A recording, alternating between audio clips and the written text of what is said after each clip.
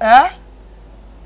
là c'est vrai nga babebisa nga mpo na mpasi ke nalakisaki yo baimage oyo batindelai ngai oyo nde baomenase ngai hmm. ke bakosala nga boye bakozongisela nga boye hmm. batindeli nga foto ya diable en personne eh, na elongi ya ndeko na biso moko boye ayembela nzambe boye toboyaki kopiblie makambo wana mpo kilesbiene eza mabe ndekokilesbiene eh, eza mabe oyebi pourkui mm. tala nano bandeko nyonso baosala bavie wana bayebi makambo na oloba mm. ezali na bolingo moko na kati wana eleki kuna bolingo ya mwasi na mobali na ndaka libala donc diable apesaki nga bamayele mota na moninga mwasi alongwa na ye kaka esika avandaka andimi ofuta biye mpo bokuta biye mpe ya décembre ya baserie mpena ya banoel mm. c'est cher aye mpe na mbongo eh, eh, jene mbongo yango yango oyo tonjoele eh, mbongo yango yango oyo tonjo nokokaka ti nokokaka ti sino nzoka lokuta ah, nzambe mokili oyo ya bakamarade mais obanda ogere nyonso oto na ndenge noki esiko kobanga eza te keno biso peut-être mosusu mobali na ngai akokanga biso hmm. euh, ekosukela ngai mabe mwa kobanga ne banozala te kindoki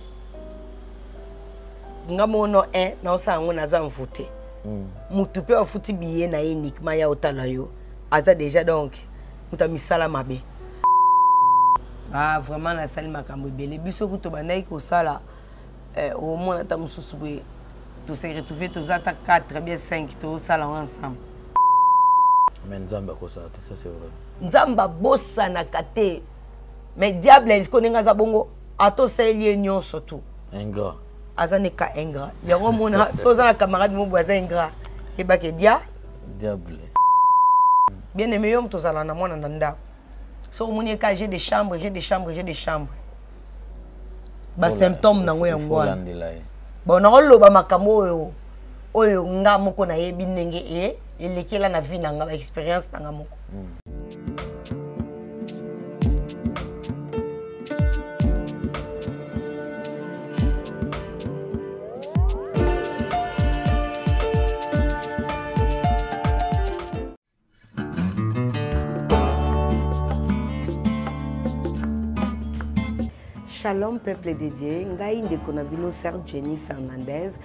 la servante de dieu nazali kobengisa bino na milulu tozali koorganize ya 5 décembre tokobanda le 12 avril nde tokosilisa le 10 mai na milulu na biso ya liboso na nzambe évangile ezali ofele ma évangélisation esengaka makoki nazali kobengisa bana nzambe nyonso tu ya partout dans le monde boya kosoutenir misala ya nzambe nde boye mpe nzambe akokanisela bino na ntango ya suka bien aime nyonso tu okozala nango na maboko nzambe akotuta motema na yo kanisela bandeko nyonso tu oyo tozokende kosauve milimo wana oyo bayoka nanu nkombo ya nzambe te bayebi te ndenge nzambe asalaka na vi ya moto ndenge nzambe atransformaka vi ya moto bien aimé yo mutu nzambe abenga yo yo si ocomprena mystère ya nzambe soutenir ministère oyo pesa oyo nyonso to kozala na yango ezala savon ezala sete ezala soutien ezala libaya ezala elamba mwana joue yaka nango tozali kozela bino mpo tosoutenir ministère oyo tosoutenir evangelisation oyo e nzambe akosala nini akokanisela bino yo moto olelaka likambo na yo ozwela yango nanu solution te yango oyo ere yango oyo osala nini oganye quelque chose na part ya nzambe e nzambe akokanisela yo mwasi oyo atangaka makila mwasi oyo azanga kimia mwasi oyo alukaka kobota mwasi oyo alukaka libala mwasi oyo alukaka alonga na balien famille yaya kanisela ndeko moko azovanda quelque part mai kuta komela eza te lipe eza te mbongo ya traitement eza te place ya kolala azolala na carton biso tokoleka na bakartier wana nyonso tu tokokende kovisite bandeko basi oyo baza kosala koteka nzoto e nzambe akosala nini akokanisela yo que dieu vous benisse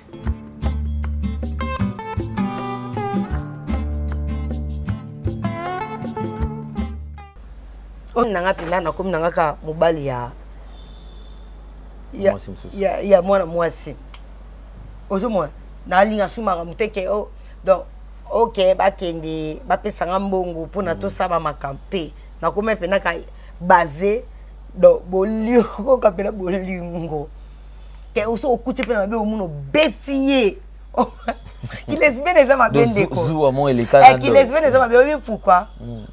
tala nano bandeko nyonso baosa bavie wana bayebi makambo na oloba hmm. ezali na bolingo moko na kati wana eleki kuna bolingo ya mwasi na mobali na ndaka libala un amitié moko suka euh, na kati ya bacouple toluka toluka toza koluka ba babenga yango nini baaffection wana ezala lisu te bacouple mm. ebeba omwa mpe bato basala 50 ans ndako moko mais affection eza te babenga yango na anglais relationship mm. relation eza te ah, tofandaka mpo tozalaka na bana mais bayinana mwasi asamaka na ndenge nde mobali asamaka na ndenge na ye mais nazoya biso na kati ya kilesbienne anatanaka na kipedophilie affection moko eza na okosa diable aza lokuta makasi mais sikoyosoki okangama mpenza oh, bolingo moko eh, tala ngai nafanda na ndako ya libala na biso naloba no makambo nzambe azalaki mayele mpo ani alekisa ngai na baexpérience wana mpo lelo nakoma sujet epuis babiloko nyonso tout na kote yango vie na nga mobima partout monde entier ezali basujet na nga baepreuve na nga vie mpo likambo osala oteya motu bien mpo ani oza na expérience nango mm. nga na oyokela vie na nga soni te mhm. na oyokela yango soni te nazali na nga kuna te o bafinga nga basala ni bazonga boye elobela nga eloko te parce que pourquoi nzambe ye moko aexpose ngai eh, lelo mamu nyonso naobimbisa baninga mosusu basala yango na kobatama bayeba te ke ezalaka mabe ou soit bayebaka eza mabe mais bavivre na ignorance basala nini batika yango ozomona ye papa le mm -hmm. baefe wana ya ko ya ko ya kozala ensemble ya kilesbienne omona kaka bobandaki bia bolingo makasi amitié makasi so bana basi baza balesbienne mibale omona bakomi kolata ku bilamba ndenge moko hmm. Hmm? soki mosusu aza mobali mosusu aza mwana mwasi oyoka mobali vraiment bien eh, soki entre bango bale moko aza na mbongo ebele neti ngai na ndo olingaka basi po apia yanga mbongo eh, ngai kuti makambo wana kuti oza mbongo te koya te bato bato oyo bayebi na bacamarade ebele baza na lwanda awa na kinshasa mwa natangela bango natanga bakombo na bango mm. eza te eza bavie ya bato mm. hmm? mais omona bobandi na bino bien mwa moninga ata mosusu azala na mwa mbongo ndeti kopi nanga mobwe oyo eh, aza mpe na france oyo mpena mm. alaki de base avant mm. ex na ngai oyo musicien azwa mm. wana mosusu ya mwana na ya oyo akoma obwaka bwaka ye wana mm. avant nanu nabanda kobima sikoyo na fi wana oyo mpo tozala balesbienne biso mibale mm. na fi wana oyo ex nanga abwaka abwakaka mm. tozala balesi bamama na balesbienne confirme na ngola ke bato bayebi ke ngai na ye nabeta ye mpe so mosusu kutu kone na masta nanga moboye aza na, na france mm, mm. napesi kutu mbote ayebi ke makambo wana moya tosala yango so eza te amen eh. ye azala bela liboma mpo na nga bafi baza na france kuna ye abela liboma mpo na ngai donc ye nga mobali na ye ti lelo ozo comprendre mm. eh, donc abandaki kosalela nga nyonso presque bilamba mwa mondele auti poto asomba bilamba bakwira biloko ya bamazone wana bamazo ba basodomi ora oyela biso baroba baquire ya mikuse babiloko ya ko babiloko mosusu eza baminete banini babiloko wana nyonso banda oyela biso omona tokolata yango ale tobandi osalela yango makambo na butu nga na ye donc azalaki omona ata salon na ngai ya suki ye moto fo afuta ozomona ata oyo wana mosusu wana kone nani oyo bakoma kobwaka ye ba ex na nga wana mm. eh, ye abanda ofuta afuti na avion alongwe lwanda ye ti komo na yango nini angleterre mm. nyonso tonaka mpona asangisa nzoto na nga mm. ozomona donc diable apesaki nga bamayele motana moninga mwasi alongwa na ye kaka esika avandaka andimi ofuta billet mpo bokuta billet mpe ya décembre ya baserie mpena ya banoel mm. c'est cher aye mpe na mbongo eh, eh, jene mbongo yango yango oyo tonjoele eh, mbongo yango yango oyo tonjo nokokaka ti nokokaka ti sino nzoka lokuta ah, nzambe mokili oyo ya bakamarade ah! mais obanda ogere nyonso oto na ndenge wana okeyi siko kobanga eza te keno biso peut-être mosusu mobali na ngai akokanga biso hmm. euh, ekosukela ngai mabe koma kobanga ne banozala te kindoki nga mono e naosala yango naza mvute hmm. motu mpe afuti biye na ye uniquement ya otala yo aza déjà donc moto ya misala mabe donc adomine deja nini ndako na yo amen mm. donc bokomi lokola ndeti bovivre sous contrôle ya likambo bodeya oyo aprépare apréparaki mm. oh papa oyoka mpena mobali ayebi mpena ke mobali toa na soki deux chambre ayebi mpena ke deux chambre bie trois chambre deux chambre bie trois chambre oui deux chambre bie trois chambre ouais trois champs mobali ayebi ke donc depuis copine na nga wana aya kovisite nga mobali alala na mbetu ye moko me nga na ye tolala mbetu moko ayebi kaka kino bobeta masolo ah, ayebi ka bongo hmm. ayebaka bongo mais tellement ke ayeda na numéro oyo eza préparé ozo comprendre oyo aveugle oh. mobali oh. oh.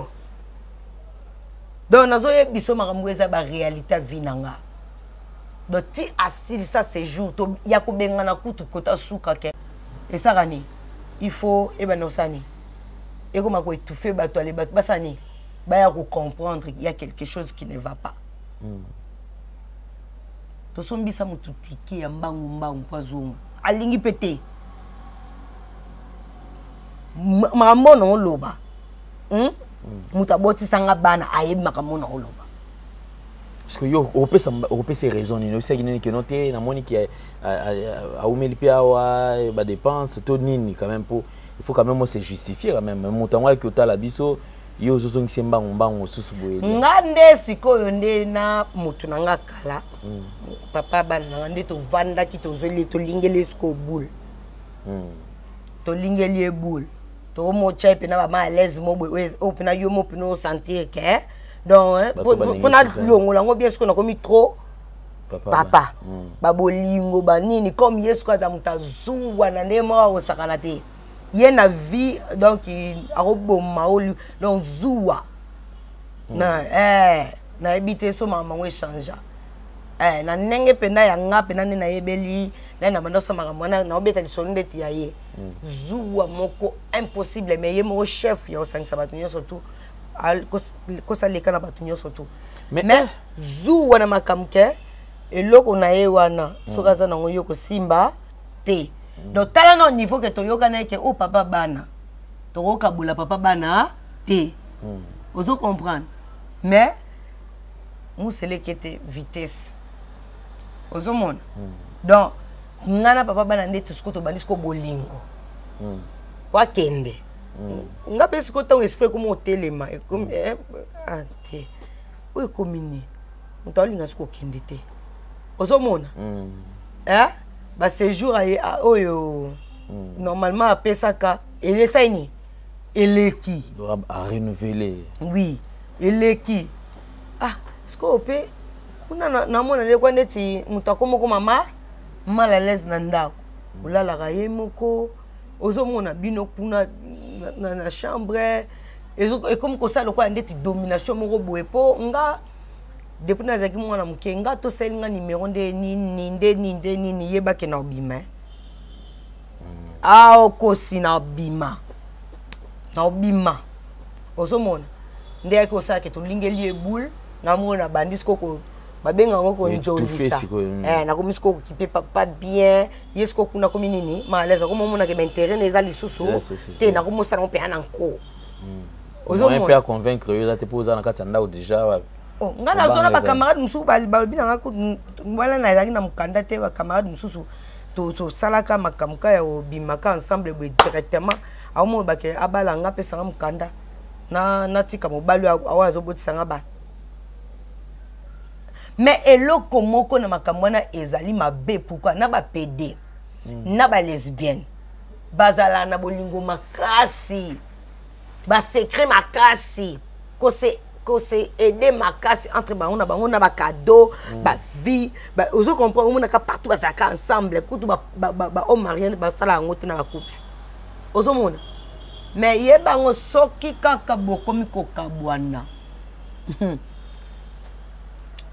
bato wana nde mibale bakosolola lisusu te na vie la plupart des cas ezalaka bongo bayinani mpenza libelabokoyinana na ndenge boko donc ata kutu kotanga na bakombo botangana te presque oyoka barando na baaudio na bafacebook na banini do yango tomona ba audio keno bazoswana oyo alobi boye do balingi mpe kotika mpe likambo yango te surtout na paris na belgique na londres bapays wana oyo nayobi ntangelo wana na ba états-unis wana ah soki basi baza 100 na chaque pays hein ba 70 pourcent ya basi baba lesbienne basi ya mabala mpenza boye hmm. omoni mpe na pete eh?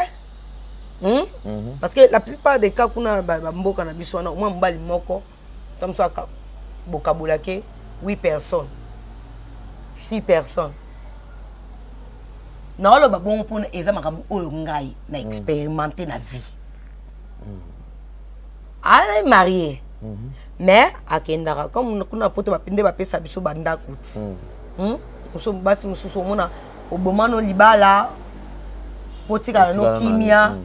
posaka vie na yo ozomona sikoyo ka bahomme marie wana nde bakenda sikoyo kokotela basi wana eh. okata mosusu aza na bino ata 10 ayebi ke na semaine oyo nakokangama deye na 2 na oleka na ndako ya depo aogere mpe ndako ne mm. papa baza bayebi ezali ya mabe fo tosala nini totika nzambe aza te na makambo wana mm. nzambe aza tala ngai nauti na bamakambo wana nzambe aza te ngai na ndako na ngai ezalaki ta mosusu nazwi mwa camarade ozomona camarade aoya na ndako na nga aya na masanga aye na bacamarade bolambi bolie botie miziki mpo bato na poto bakomisaka bandako na bango banganda surtout na nde tokomi na corona oyo oh boye mm. hmm? mm. ah. nganda ekomi nde na ndako ti bato bakoma kosomaka masanga batie na ndako batie eh, clipe nani ebimisika polemika nani mm. ozomona balandela nano makambo yango bien ntango bozo kolia bozo komela bozotala makambo oyo nzambe aomona intérêt na ye te na kati osisi mpe journée mobimba osambeli te mm. ofongolaki bible te osalaki sacrifice eloko moko te osalaki eloko moko te oyo eza na intérêt ya nzambe akonte yo parmi bato oyo akreaki azoki ntan na ye akokreye yo aye nao na mokili ndeko ntango likambo sikoyo ekoyelo mabe apo obengi likambo yelo na vie bia kufa ekomo ya okomo benga nzambe ke nzambe aza na, na, na minute nani oyebaka ke nzambe azalaka hmm? yo ozolekisa air ndeti balesbienne ba, ba, ba mosusu na poto bakoma omona basala ekiri na bango badiamba ye wamelaka putulu ameli ye libanga ameli ye bakutana ba, neti retrouvaille mona motu na poto ozalaka na bandako na biso mm. lelo staff ezala pa o oyo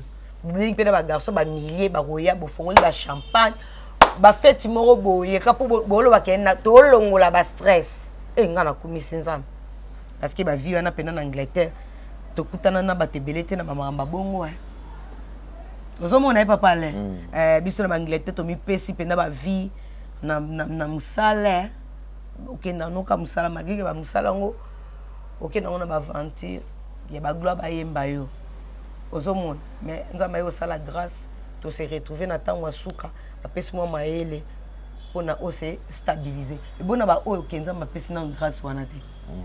baoyokela bango mawa banano na bavie ke yo yaka na de kasie ya babenga ngo ni bamasanga na biso bapoto wana hmm? mm.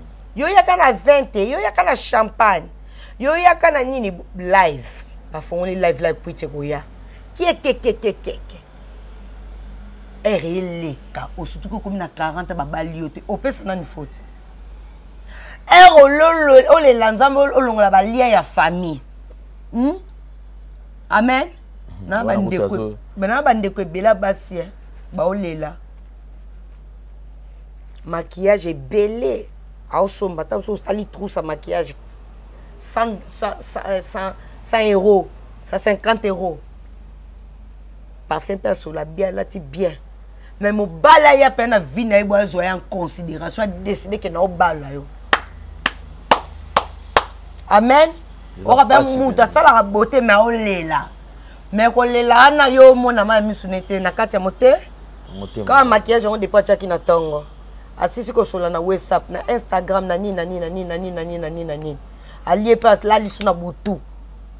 mais mutu moko te azoya na vie na ye mpo nini ahonore ye ole mutu mo boye azwa conscience na vie ke ah peut-être naotambola bien te omoni ka bakilesbienne ana ekangaka makambo ebele ngai nao petelo expérience ya vie na ngai baplace naleki mpo na nini obandi déjà kilesbienne depuis kibomwana na yo est ce que libala eya ndeni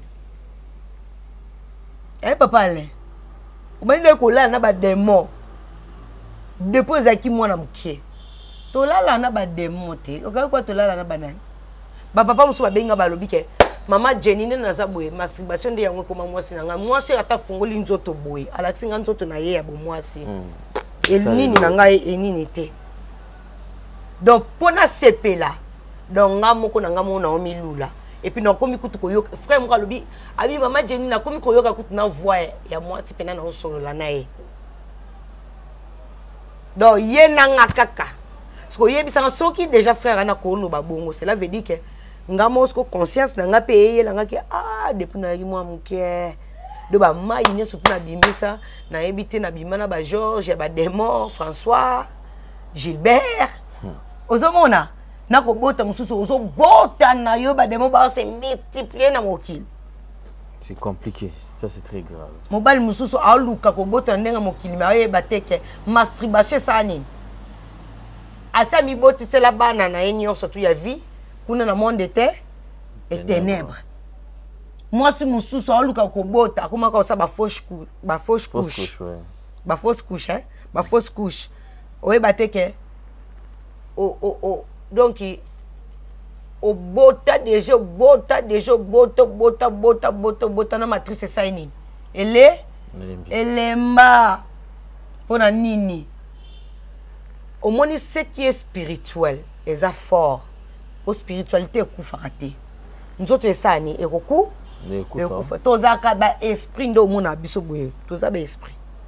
mm.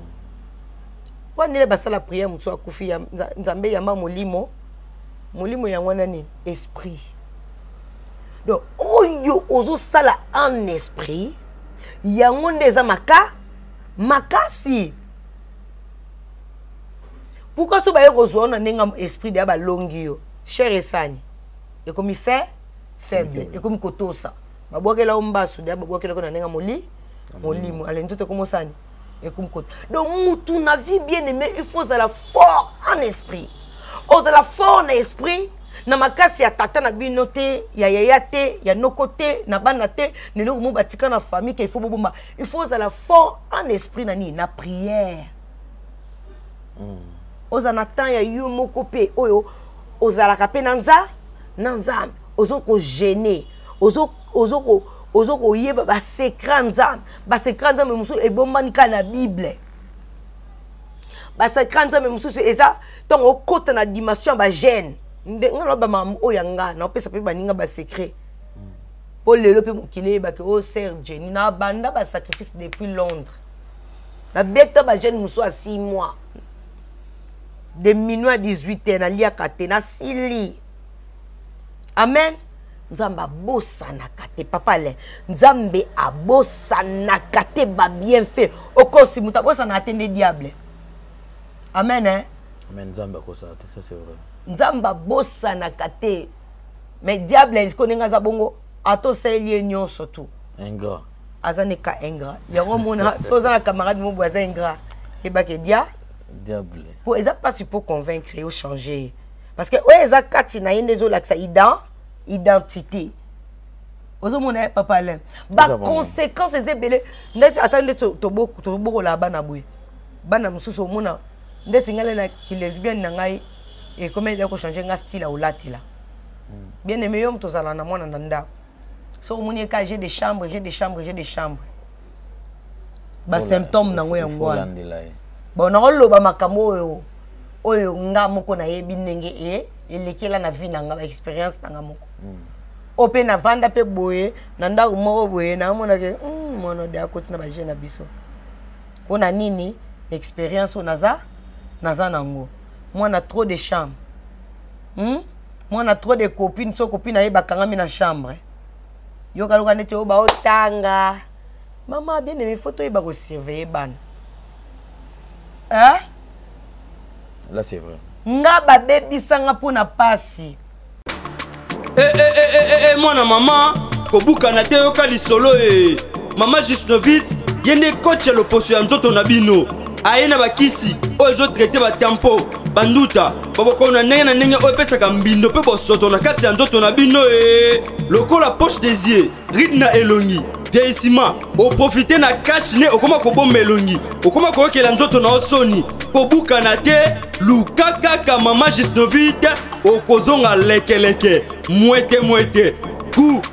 mama na ngai ye babi mama gisnovit azosoigne nyonso etali loposo ya nzoto na bino yo moto obetela batampo esalaki ezambe te esilaka te elongi enzuluka ekoma lokola moto batume na depo makala yaka mpo toyebi dokter aza kaka moko koch aza kaka moko kozwa ye eza nango fasile aza mpe na facebook whatsapp basite nyonso ya internet soki olingi ozwa baproduit na ye livraison nango eza partout dans le monde tobeta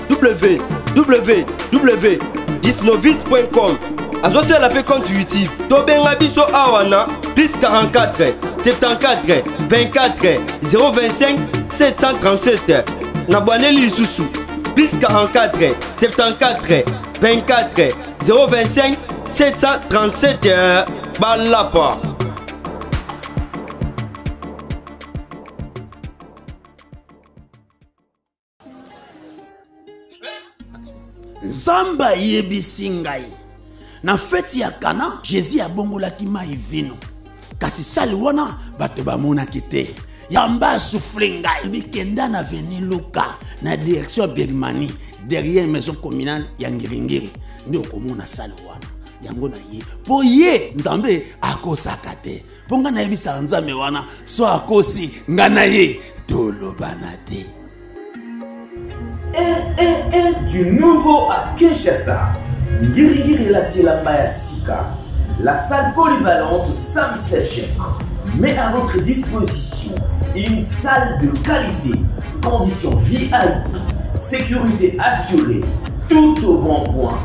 Très très disponible à un prix abordable. Mariage, conférence, réunion, anniversaire pour toutes vos cérémonies, sans sécher très très disponible. bien aimé bien aimé de toute la ville de Kinshasa, RDC, Tobengi Sibino, Yassika, du nouveau, du nouveau, Nilo part ailleurs du nouveau à Kinshasa. Pour tout contact.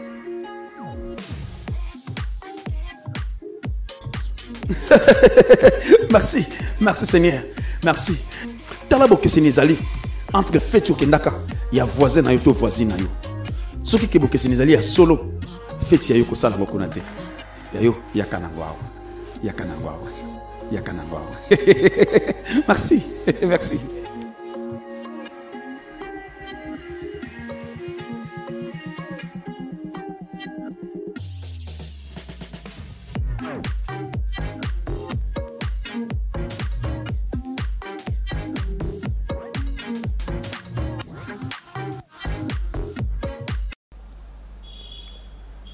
je me rappelle grande sœur moko boye abengaki nga mpe dernièrement aza na france kaka na bayoutube oyo atalaki nga kaka na bayoutube oyo alobe na nga mpe asabona na asabona na nini na yo na chaîne na yo sere ana azwa nga mpe na yala na oteka mai na mariano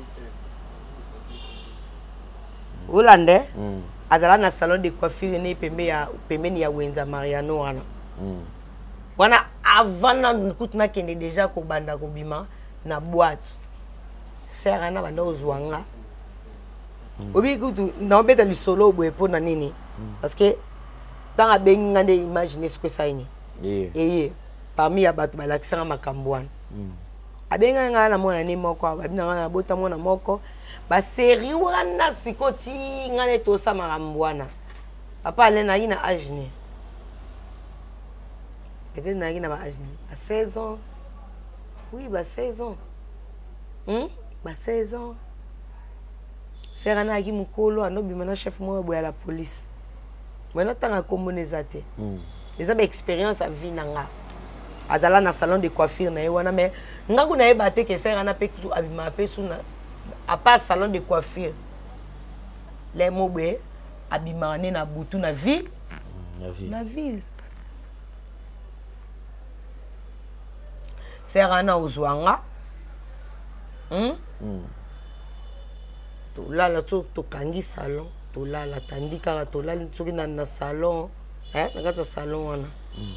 soki abandi kosala ngai je de doigt mm. ocomprendre do ye esale bien mais tellement ke nga na na mwana moke nayebi ba baesengo ya nzoto te omoni mm. eh, ntina bisengo wana nayebi yango te eh, eh, mais likolo ya mpasi osaini omitiki mpo nayebi ke ah, so nayebi ne kaka ke nalingi nakende ndako asalaka nini apianga mwa ke mwa quelque chose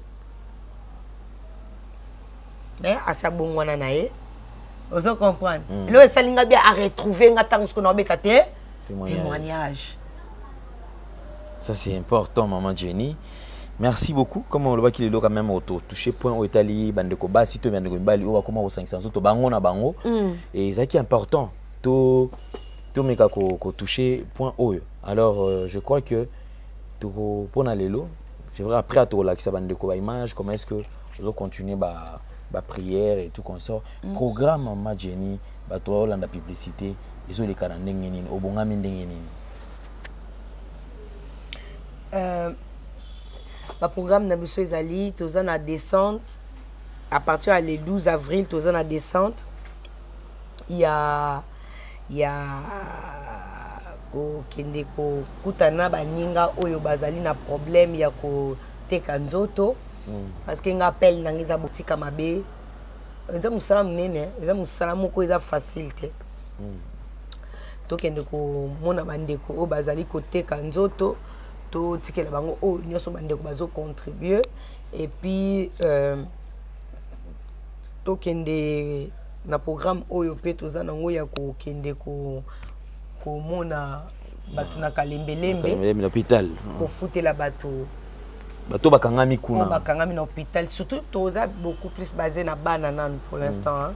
bana mm. babebe hein. mm. nzambe atalisaki pasteur na ngai azali na états-unis frédéric mosoki napesi yo mbote pasta que dieu vous bénisse papa euh, na parti apesaki vision apesaki vision eke comme ngai naza a sur place naza mpe na baprojet wana nzambe atalisaki tokende kotala baninga nde eyaki kosala ke tokende ko tokende kuna tokende kofutela mwa 5 personnes mwa 10 personnes mm. bana basala nini babima epuis tosambela mpona bango mpo eza na baka mosusu omona mpe bato bazangi na mbongo kofuta hôpital mais ezosenga loboko ya nza intervention ya nzambe nde tokoleka kuna na bandi okoya kozwa baimage mm -hmm. eh, ya place tolekaki e na bani nakopesa na baimage oyo tozwaki deja mpe na kalembelembe mm. na ba na bandeko mosusu oyo tokozala mpe na bango mokolo wana mm. donc wana eza lokola ndeti première descente esika baninga baoteka nzoto deuxième descente ezali ya ya konini ya kokende ko na kalembelembe mpo na ka ya bana e mosusu ezali descente mosusu ezali ya kokende kofilme esika tozotonga batente na mangengenge mpo na priere bandokoto balingi bakota retraite eh, eh. epuis mosusu ezali ndenge nini okozwela biso mpe baimage mosusu na bato oyo deja tokendaki kuna na paka juma mm. basere wana nyonso tu oyo tozwaki na bamama oyo tozwaki mm. amen eh. bango nyonso tu wana nde baza bongo ndenge tozo ko encadrer bango tozo linga ko exposer bango te na, na caméra parce que ezali ba eza ba âme mm. ozo mona mutu nyonso tu te alingaka tango eh azoya boye aetale nyonso te ayaka liboso ya caméra te ndenge na ye na liboso ya caméra boye mm. ozo mona papa ale mm. bato mosusu bapaster mosusu omona mpe boye ba verset biblique ya makasi mais ozomona ke baleka te na tv boye asala live aokoka te ozomona nde bandeko mosusu bayebisaki ngai ke moyen ba nini to expose bango na bacaméra eza te ah, peut-être que tokana filme bango mai tobombi bilongi bon peut-être na sens wana mpo nayebi te mai tozwaki mpena basere ebele oyo deja tobandi kolandelela bango donc euh, c'est ça ba descente toza nango 5 mais toyebi ndenge nini tokokabola et puis toyebi ba site nyonso tobanda koleka moye topublia ba site eza te eza te donc euh, euh, du que awawa boye toza na bandeko mosusu omona toyebani mitema te mm. diable akoutilize kaka mu mutu kaka nde toza boye est ce que oyebi papa alain est ce que oyebi ke nalakisaki yo baimage oyo batindelai ngai oyo nde baomenase ngai mm. ke bakosala nga boye bakozongisela nga boye mm. e batindeli nga foto ya diable en personne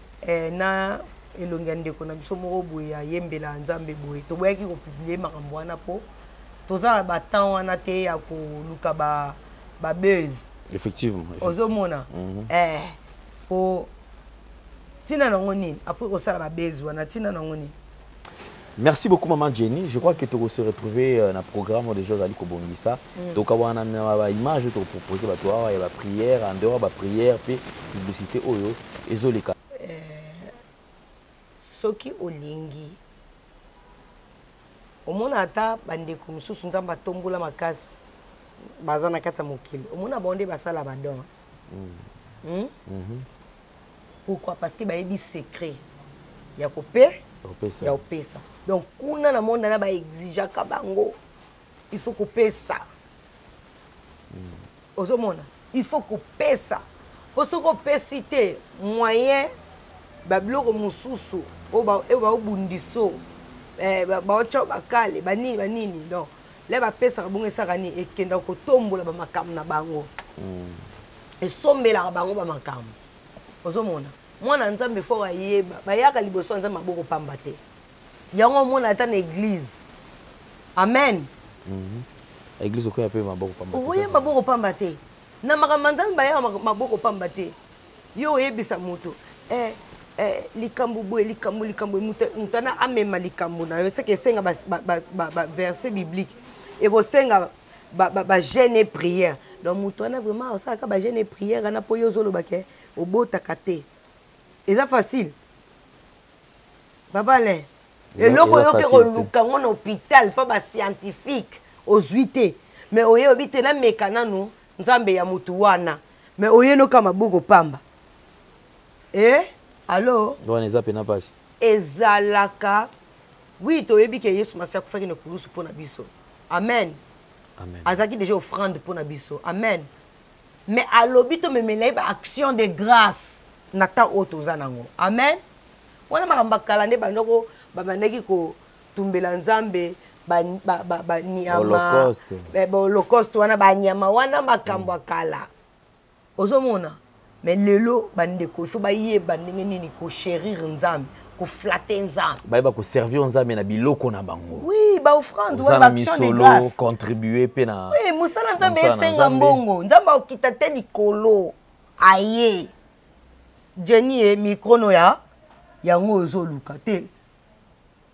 amen boyo ntango okende osomba sente okendaki te ke nzambe abipesanga sente obimisaki ka lomeya lococo te nga mo mpena nasombi sente na mbongo na nga moko eh, wana mpena mbongo ya motu te nasombi mpena sente mm. nalobi nzambe a ah, mbongo mpena eza ya likambo boye mm. mbongo na nga mpena ya likambo boye fai nafuta yango ndako na poto mai nazwi yango mpena nga lobi non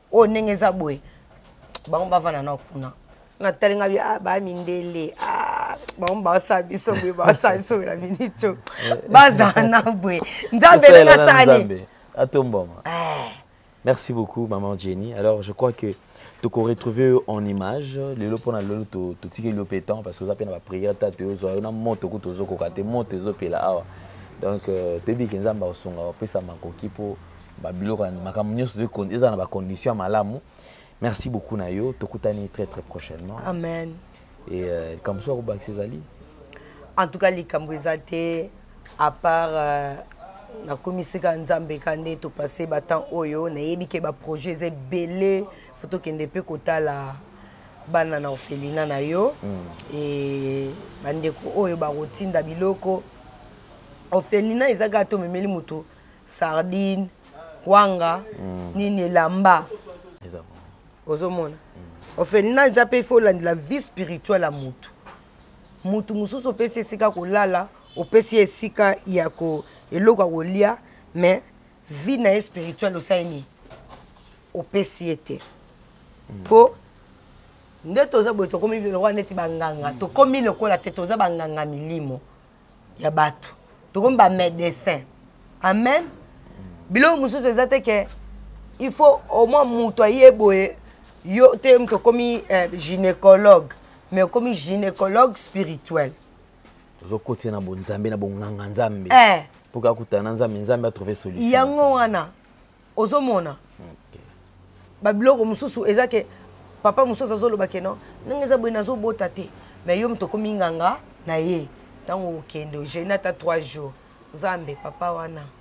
papa nakaniselaki ata na drum hmm.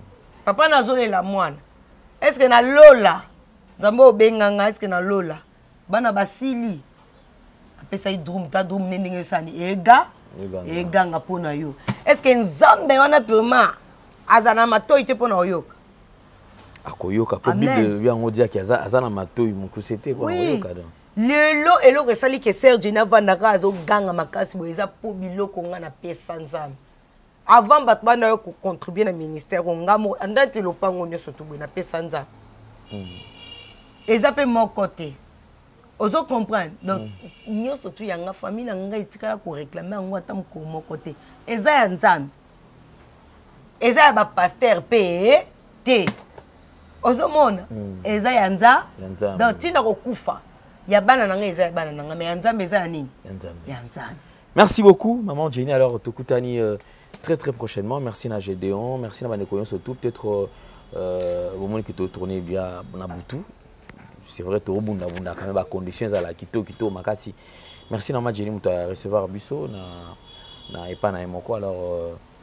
na chantier esika osala mpe misala mpona eh, korenir bacondition mpona nzambe merci na bandeko tu bazosoutenir ye merci na bandeko mpe oyo nyonso tu bakotala mpe video mpe bakosoutenir eh, na nzela diable moninga aza na mama na bango mm. mama bango aza moninga aza nkoko na bango azalaka na mwanda mama bango ayebisa biso abi a ah, naza bapoussière moko boye mm. fale bosala boye namema bino epa mama moko boye asukolaka mm. mpo nasukola bino apesa bino mwa lititi mo boye ere kokende toye kokende ngai naye koresone mm. papa na nga afandisa biso ayebisa biso na bana na ngai nyonso oyo akosimba kisi ye moto ya liboso akoya kokota ere nakei Batindi nga biloko na somba, na somba chulai ya 666, na somba maki, 4 maki bateka na Gambela, moko moko eza lokola neti na 10 dollars. Naye kofanda ndenge na somba nazalaki na mbongo na ndako 30 dollars. 30 dollars wana ezalaki mbongo ya kofuta ndako. Naye kotala nga bi Nzambe. Na se na kati banzela oyo, na bimisa mbongo na kozwa mbongo wapi?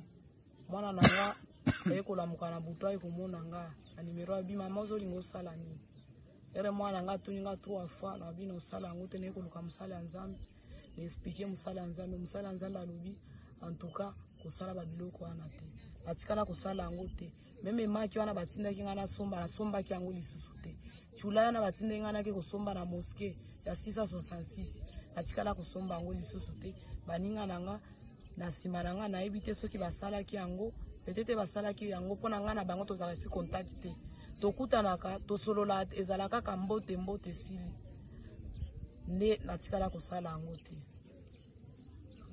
nde yango oyo sikoyo yo ozoconseille baninga nini oyo batikali na mabe ataka ya osini bakisi te parce que kindumba ememaka bato na banzela wana ah. eh, kindumba ememaka bato ebebisaka omona moto akomi drogue moto akomi lesbienne moto akoma yanke moto akoma na bapota mpo na nini bademon wana oyo tokendaka kokutana na yango na banzela mibali oyo tobimabima na bango nde batikala sikoyo kosala barevolte na bango na banzoto ya bato yo sikoyo ozoyebisa na bandeko nini oyo bakolanda yo na nzela ya youtube monde antie mpo kindumba ezokipe niveau te eza ndumba na poto mpo bandeko ebele baza na poto bakendaki poto babandi nano kindumba na afrike me bakokenda susu na poto place ata mwa social ezali ke mondele apesi yo ndako apesi yo na eloko ya kolia mozokontinue toujours kaka kosala kindumba yaya bomengo na nyonso tu ozwi na nzela kindumba nzambe ayebi yango te nzambe ayebi yango te parce que aoloba osalelaki ye te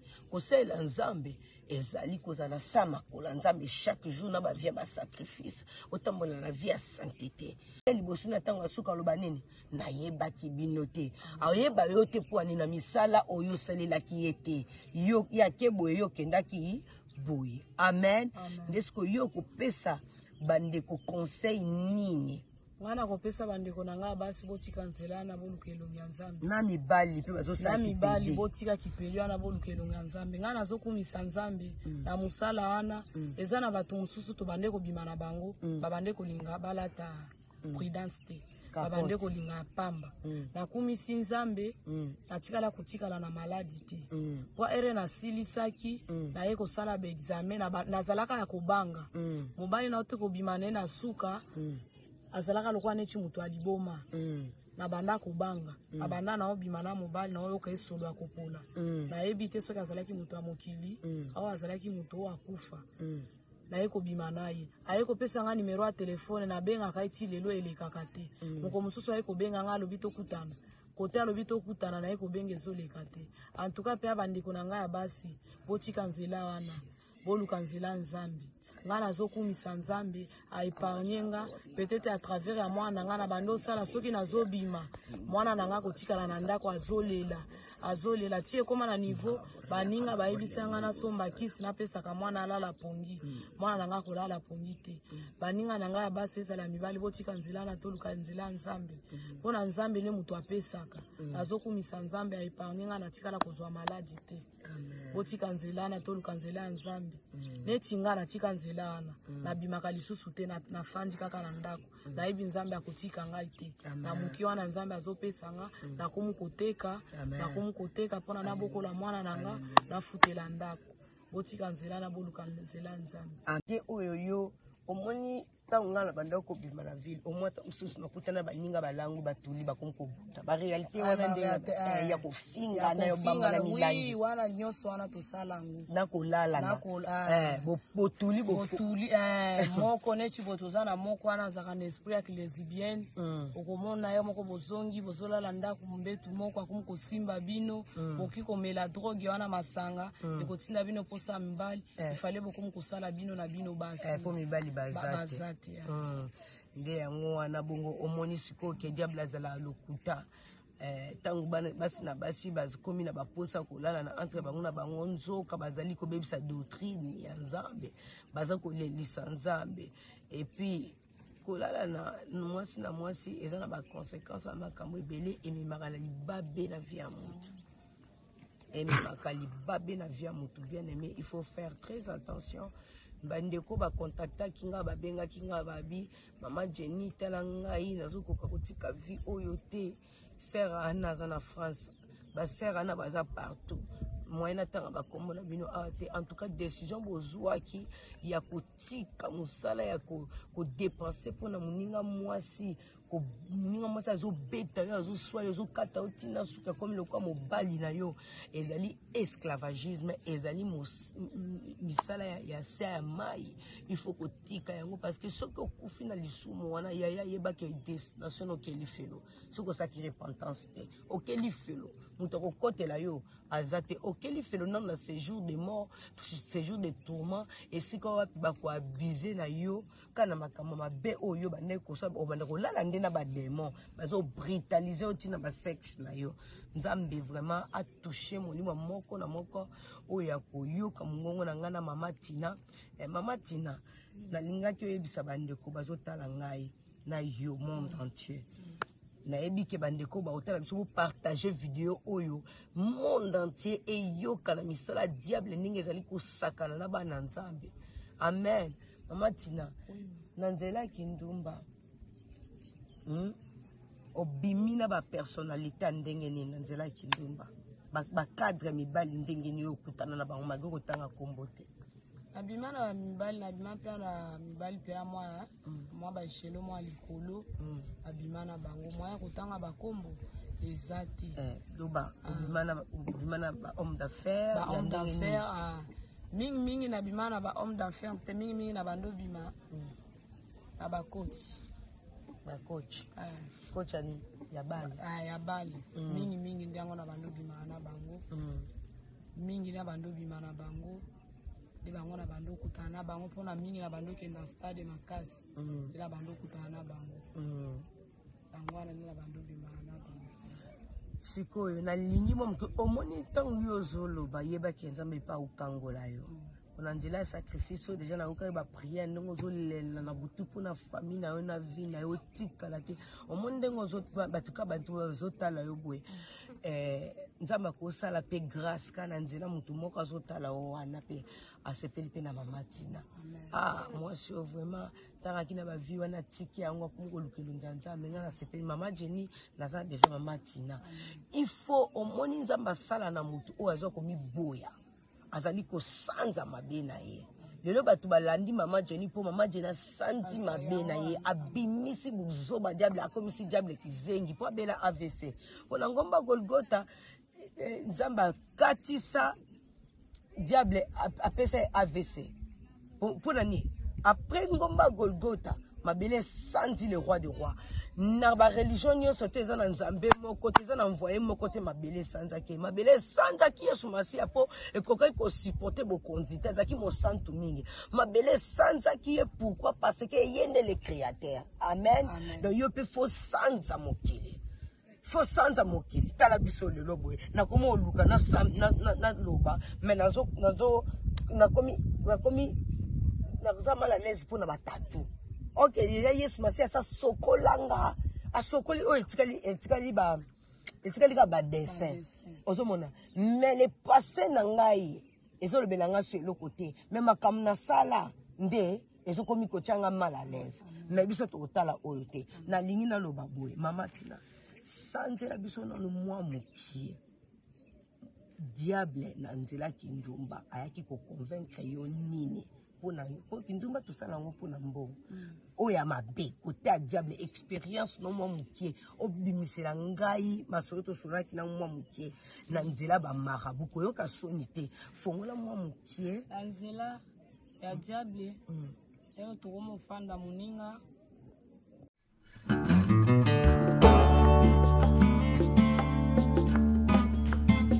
Shalom peuple de Dieu, ngai ndeko na bino sœur Jenny Fernandez, la servante de Dieu. Nazali kobengisa bino na milulu tozali koorganize ya 5 décembre. Tokobanda le 12 avril nde tokosilisa le 10 mai na milulu na biso ya liboso. Na Nzambe Evangile ezali ofele, mais evangelisation esengaka makoki. Nazali kobengisa bana Nzambe nyonso tu ya partout dans le monde.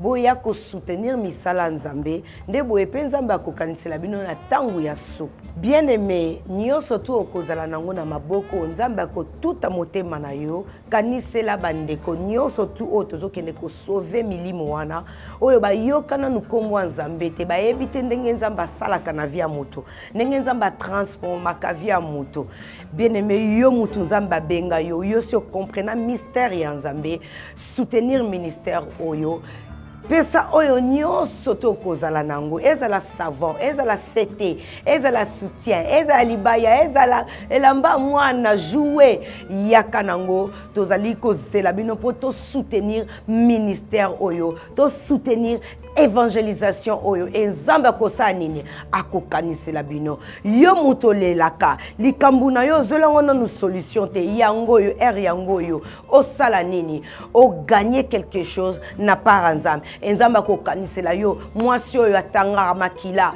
mwasi oyo azanga kimia mwasi oyo alukaka kobota mwasi oyo alukaka libala mwasi oyo alukaka alonga na balien famille yaya kanisela ndeko moko azovanda quelque part mai kuta komela eza te lipe eza te mbongo ya traitement eza te place ya kolala azolala na carton biso tokoleka na bakartier wana nyonso tu tokokende kovisite bandeko basi oyo baza kosala koteka nzoto e nzambe akosala nini akokanisela yo que dieu vous benisse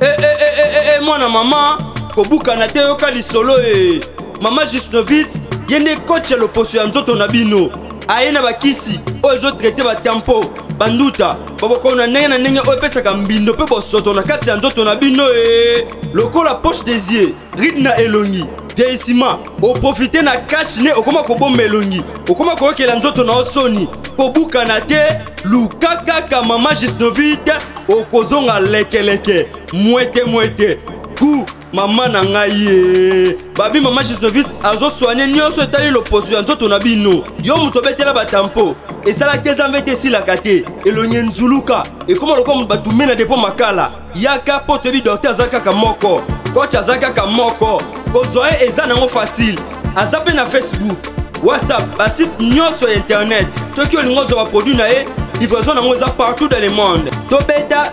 www disnovit.com azosala mpe compte youtube tobenga biso awa na plus 44 74 24 025 737 na bwaneli lisusu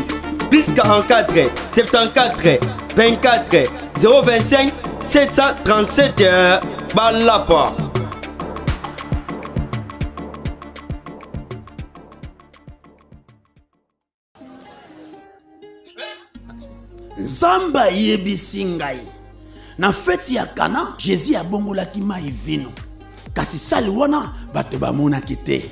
Yamba asufle ngai bikenda na veni Luka na direction ya Birmanie derrière maison communale ya Ngiringiri nde okomona sali wana. yango na ye mpo ye nzambe akosaka te mpo ngai nayebisaka nzambe wana so akosi ngai na ye tolobana te et du nouveau à Kinshasa. Ngirigiri la La salle polyvalente Sam Selchek met à votre disposition une salle de qualité, conditions VIP, sécurité assurée, tout au bon point. Très très disponible à un prix abordable. Mariage, conférence, réunion, anniversaire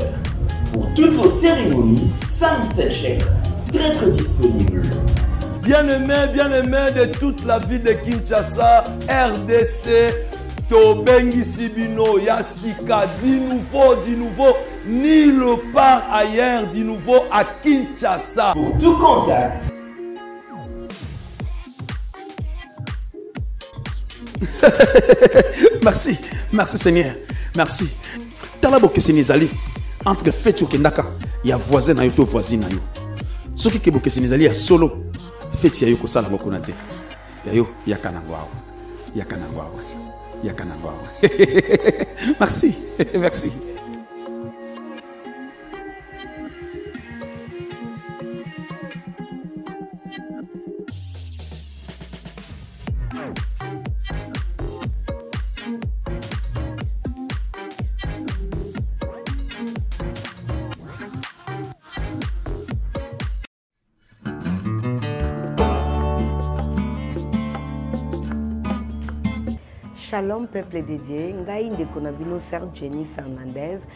la servante de dieu nazali kobengisa bino na milulu tozali koorganize ya 5 décembre tokobanda le 12 avril nde tokosilisa le 10 mai na milulu na biso ya liboso na nzambe évangile ezali ofele ma évangélisation esengaka makoki nazali kobengisa bana nzambe nyonso tu ya partout dans le monde boya kosoutenir misala ya nzambe nde boye mpe nzambe akokanisela bino na ntango ya suka bien aime nyonso tu okozala nango na maboko nzambe akotuta motema na yo kanisela bandeko nyonso tu oyo tozokende kosauve milimo wana oyo bayoka nanu nkombo ya nzambe te bayebi te ndenge nzambe asalaka na vi ya moto ndenge nzambe atransformaka vie ya moto bien aimé yo motu nzambe abenga yo yo si ocomprena mystère ya nzambe soutenir ministère oyo pesa oyo nyonso to okozala na yango ezala savon ezala sete ezala soutien ezala libaya ezala